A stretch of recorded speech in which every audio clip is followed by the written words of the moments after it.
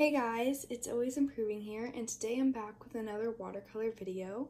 Uh, the first thing I'm going to show you in this video is actually the new Daniel Smith paints I got, along with this new palette that I'm showing off right now. This palette is 18 wells, and it is going to store all of my Daniel Smith colors that you'll see in this video. So as I pour my paints right here, I just want to talk to you about my selection and what colors I actually bought. Um, the six first colors that were already on my palette, already dry, those are from the Daniel Smith Essential Mixing Set. And it's a great beginner set. It's what I started with because it includes a cool and warm tone of each of the three primary colors. So you can mix a large range of, um, a large range of hues with that set right there. Um, but then I had some other colors that I also got um, as a gift from someone and these ones are also pretty bright. Um, olive green, hooker's green, manganese blue, imperial purple, and rhodonite, I believe is how you pronounce them. Uh, but the hooker's green did have a couple of problems. I think it was punctured either in shipping beforehand or maybe it was my fault. I'm not really sure. Um, so I was trying to get some paint out of it, um, as you can see here. But overall, the colors in the essential mixing set and the colors that I um, was gifted earlier, they're pretty bright, um, more of a rainbow sort of feel, which isn't bad. Um, they're great for mixing because I can always neutralize them with their complementary colors. But I was looking for some more earth tones, some more um, subtle hue shifts um, in my art. So the new colors that I purchased are more of that nature.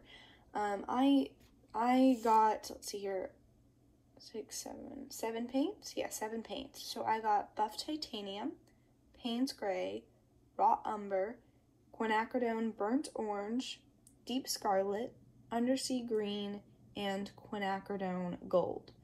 Um, I will say that I'm really happy to have these paints. There are a few things I would have done differently if I had done a little bit more research, which I should have done um, and uh, now using them I know, such as I wanted to get a earthy yellow and quinacridone gold is a very golden color, which isn't bad necessarily, but it's very similar to the uh, warmer yellow that came with the essential mixing set. So like that, there are a couple things that I think I would have swapped some colors for, but overall I'm really happy with this palette and you can see it's gotten a lot of use since the pouring video.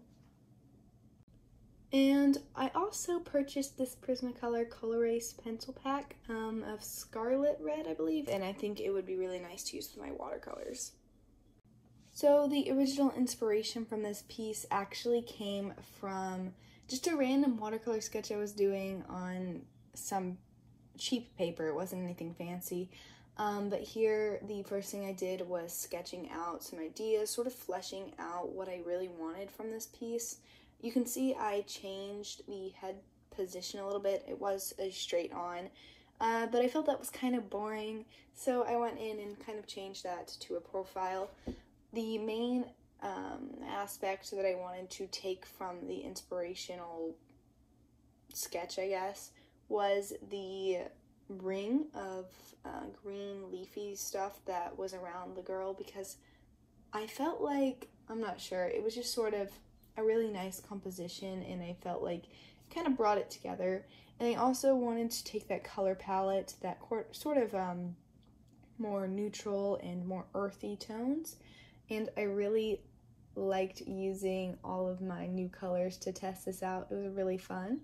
Here you can see me trying a few things with the background. I wasn't sure if I wanted to do a darker one or a lighter one, um, but I ended up going with the lighter background and some yellow lights to kind of give some life to it. The first thing I did for the final image was get some plates out so that I could uh, get a general shape down for that ring of leaves. I felt like if I didn't use a guide, the shape would turn out pretty wonky, so I decided to uh, get those bowls out to make that um, circle a little bit cleaner. Uh, the next thing I did was test out some colors for uh, line work and Uh, I used just some color pencils. I didn't end up using my scarlet red that I wanted to, but that's okay. Uh, I just used some more neutral colors, some skin tones, and a nice green for the leaves around her. The first bit of color I added was on that ring of flowers, and I kind of went in with a, um, I think I went in with undersea green just because I really wanted to try out some of my newer colors, uh, which was pretty dark. I think I might have made it too dark on my first, um, my first layer, I guess, but I think it ended up looking pretty good in the end. Um, but yeah, after that, I went in with a um, clean water wash over the background of the image and I was able to do some wet on wet technique with um, that quinacridone gold color. Um, again, I wanted to use my new colors, so that's where that's from. Um, and just added some sort of like highlights, or not even highlights, they're just kind of like interest points in the background, and I really like how that effect turned out. Um, I was really happy with it at this stage of the um, painting. Uh, after that, I kind of moved into the skin tone, which is weird because you normally I know I do that first. Um, but I, I did the background first. I thought it was easier to kind of get a um, get an overall like tone of the image down first if I did that background uh, layer first. So I know last week's video wasn't the happiest toned and I feel like this week I finally was able to turn that around and I feel like this this was a creative piece. This wasn't a portrait. This wasn't a directly reference from anything. I literally was just messing around with some um, sketching and watercolors and came across an idea that I happened to really like and so I made it.